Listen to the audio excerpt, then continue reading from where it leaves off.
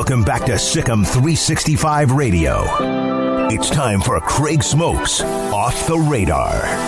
Brought to you by Pickup Outfitters. Since 1997, we've been outfitting trucks, SUVs, and vans at 220 Lake Air Drive or createacommotion.com. All right, welcome back into SicEm 365 Radio. Time for a little off the radar, which is taking a look at some of the stories around the rest of the world of sports outside of college football. Although, still stories from college football, as I'll get to in just a moment. But the main ones that we don't quite spend a lot of time on, or the Dallas Cowboys. Typically refrain from mentioning them too much in this segment, but uh, we will start off with some college football. One thing that uh, TCU's athletic director Jeremiah Donati mentioned in regards to the Gary Patterson uh, search uh, search for his replacement, I should say, is uh, LaDainian Tomlinson will be on the uh, committee that helps find the new TCU head football coach. Uh, he said, "I can't wait to hear their thoughts and their ideas that they have." He was talking about um, obviously, LaDainian, the TCU legend, a Central Texas legend, grew up here in Waco, but also uh, Joe Briggs uh, will be a part of the the committee uh, search committee as well. So uh, I'm very curious to see what they do, man. You know, there's the the Sonny Dykes option, and there's the Jeff Traylor option, I guess. Still, if they if they feel like they could maybe convince mm. him, um, you know, as, as sure as he sounds as he's going to be staying in San Antonio.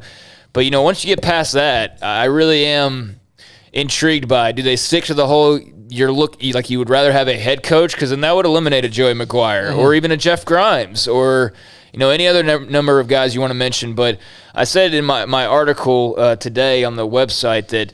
Uh, Baylor fans just better get used to the idea that everyone, including their head coach, is going to be in the rumor mill uh, for for this offseason and probably for many off seasons beyond because you'd love to keep them all together. But I mean, between McGuire and Grimes and Aranda, I mean, alone, uh, there's going to be a lot of outside interest. So very curious uh, the direction that uh, TCU goes. But LT will be on that. Uh, on that board of trustees committee that will be looking for the new head coach. Another college football note today: Clay Helton already has a new job. Did you know yeah, that? I did. Georgia Southern hires Clay Helton to be their new head coach. And um, obviously, he comes over from USC, where he was fired just a few weeks back. And um, you saw the writing on the wall there. USC now is, is one of the more intriguing schools as far as what direction they're going to go. But uh, Georgia Southern goes the direction of Clay Helton. And I saw some comments of like, oh, hey, you know, obviously a name some people recognize, but saw a lot of other like, well, that's uninspired comments as well. well I, I mean, if you're Georgia Southern, you get the guy who's at USC. I mean, no matter how well he did, I mean, that's – I think that's a. I think that's a. I don't know if it's a home run hire for Georgia Southern. I don't know what they expect. They had a big win over Florida a couple years ago, if people remember. But um, I. Uh, I think that's good. I mean, I think that's good. I think Clay Helton will do well there. I think Clay Helton's problem is that he was, I don't want to say he's too nice a guy, but he was too nice a guy for LA. He wasn't Hollywood enough for LA. Mm-hmm. I think he'll do fine at Georgia Southern. I think there's many places where Clay Helton will be a very effective head coach. I don't know if Clay Helton was a guy who was ever going to win national championships, but very few people are. That doesn't mean that they're not good head coaches for your program.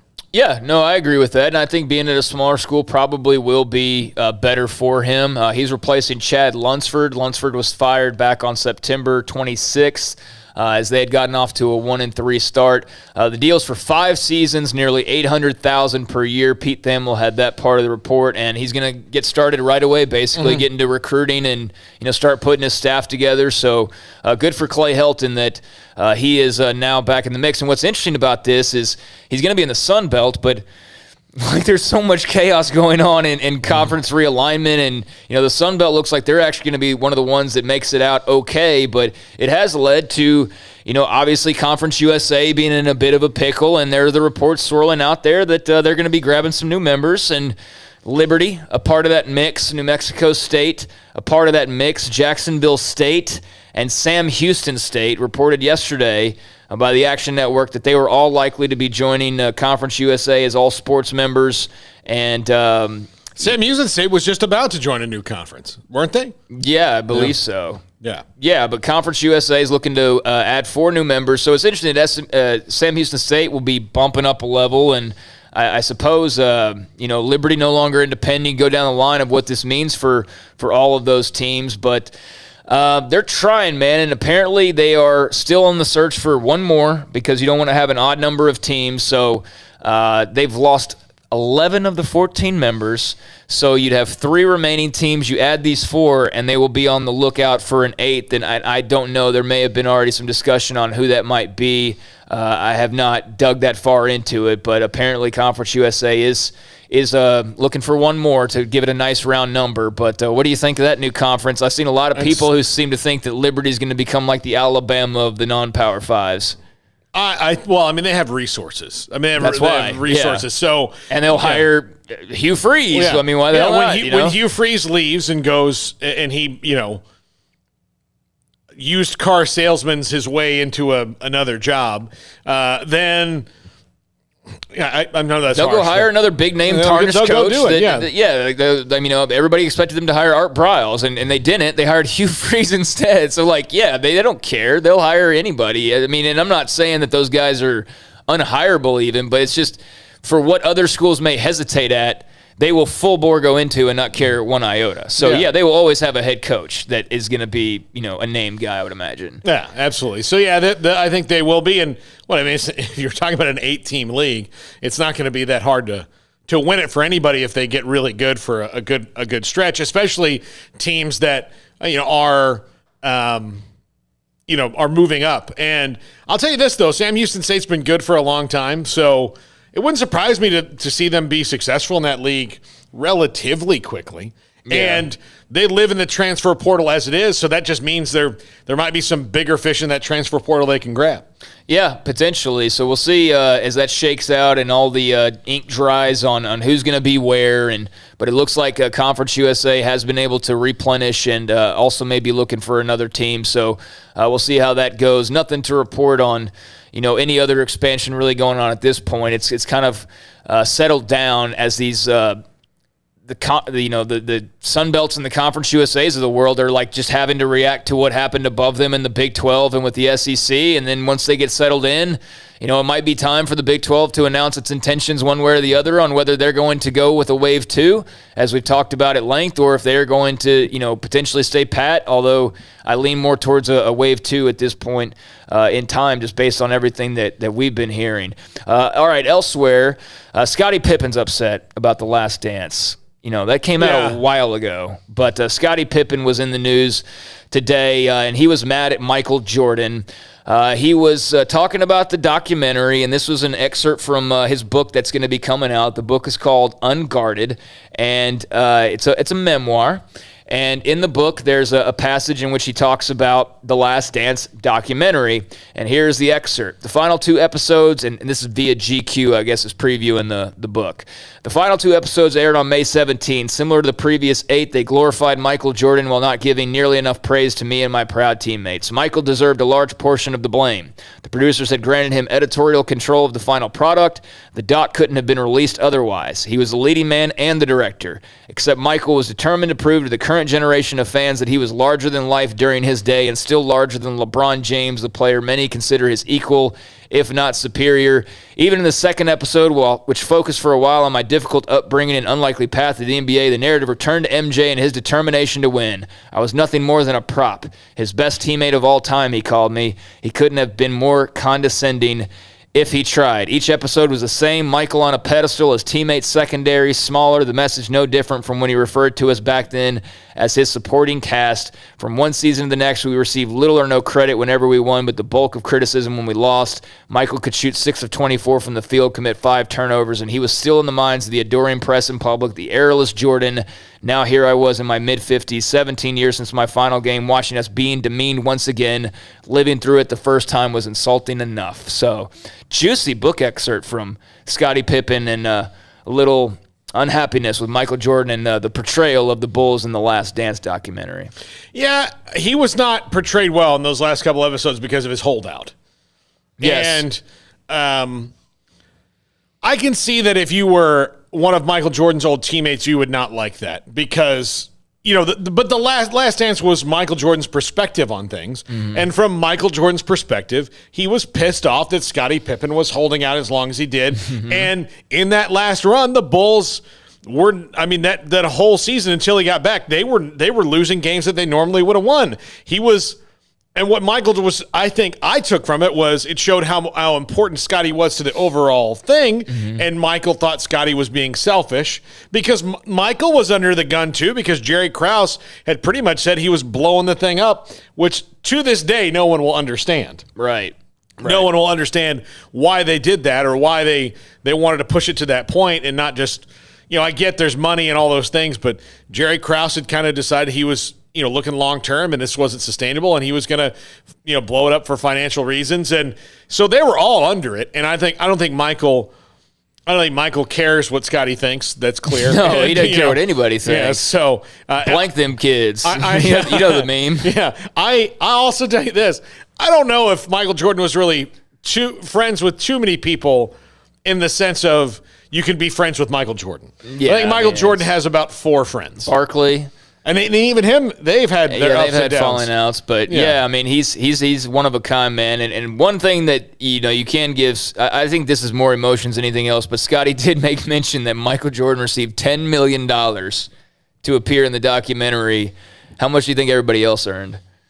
Nada. Yeah. He got 10 million, but hey, he's Michael. You can't do the documentary without Michael Jordan. No. Like you just can't. I mean, that's you can't talk about those Bull team, Bulls teams without talking about Michael Jordan. That that was the man. And Pippen uh, did also say Michael was bigger than the game. Even uh, my initial arrival with Chicago, he's a big iconic figure for the NBA. So we never really had that off the court relationship. So to your point, yeah, Michael and, and Scottie weren't even much of friends uh, off the court. But uh, given his personality, that's not that surprising. All right, uh, tonight got uh, a few college football games that are going on, but we also got the World Series, Game Six. Braves leading the series, three games to two. Houston got the big win in game number five, and uh, tonight we're back in Houston. And how are you uh, viewing this contest coming up? Uh, what do you think, Braves and Astros?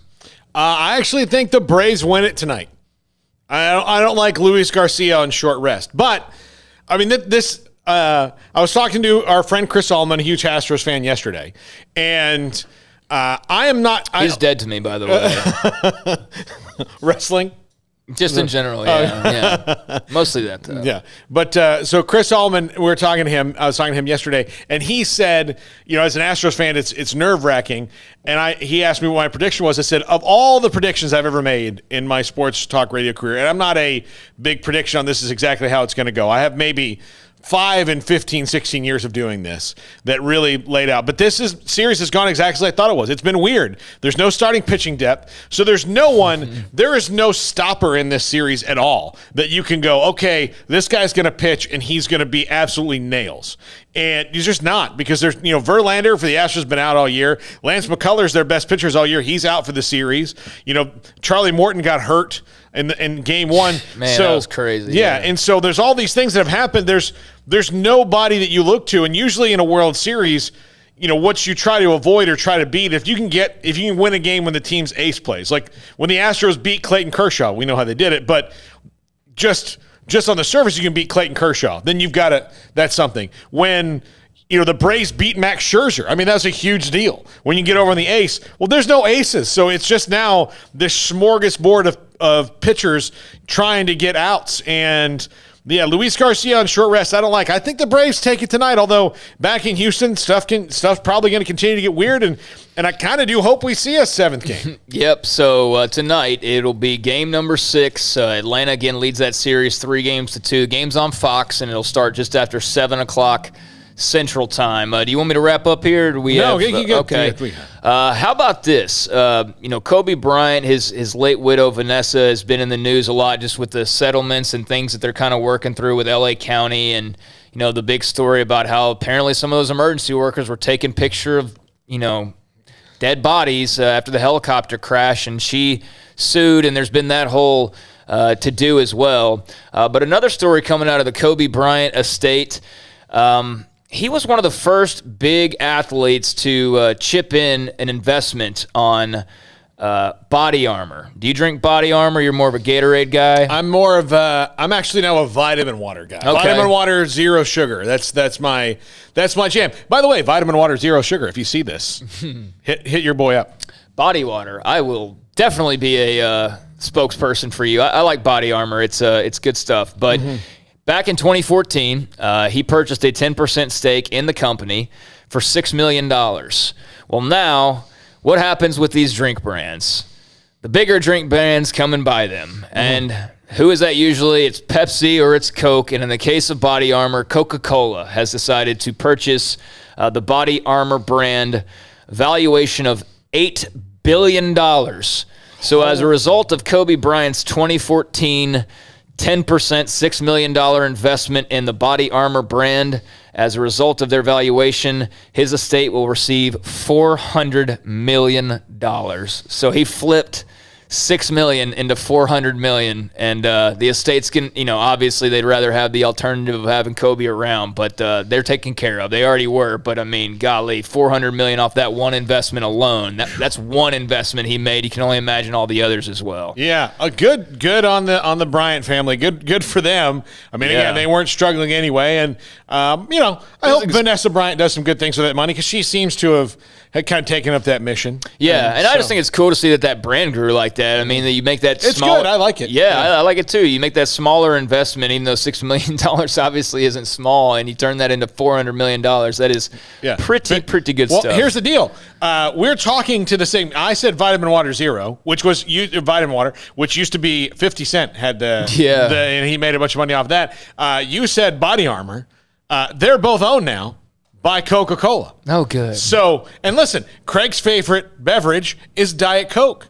So, Coca Cola. I've been to Atlanta. Yeah, we've been- sponsored the show. We've been, I've been to the museum. And I haven't just been to Atlanta. I've been to real ass Atlanta. Yeah. we stayed there for days Yeah. and made it out. Yeah. just fine. again, we're big fans of the ATL. You just heard me say I think the Braves are going to win. Come on, Coke. We spent nights in Bankhead. Yeah. I mean, we did, and uh, and we and we we did just fine. Even though I definitely saw that neighborhood in the first forty-eight, like three days after I got back. Listen, Coke, I understand that your next pitchman or person is going to be like a pop star like Justin Bieber or or you know Taylor Swift or someone like that. I get that that's what you want.